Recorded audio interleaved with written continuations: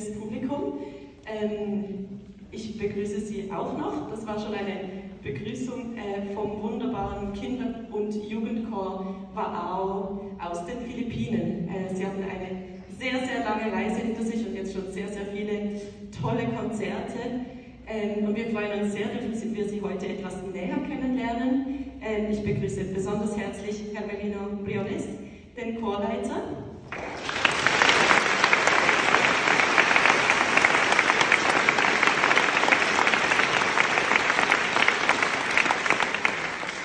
Und auch eine besondere, ein besonderes Willkommen gilt dem Verein Onestimo ähm, und Freundinnen und Freunden der Philippinen in der Schweiz.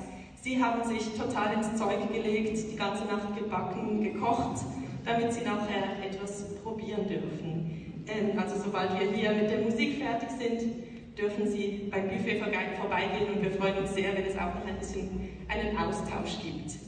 Ähm, es ist eine Kollektenveranstaltung. Jemand beim Ausgang stehen, sondern auch jemand durch den Raum gehen, sodass Sie nicht sofort rausstürmen müssen. Ähm, genau, Sie finden diese Person ganz bestimmt.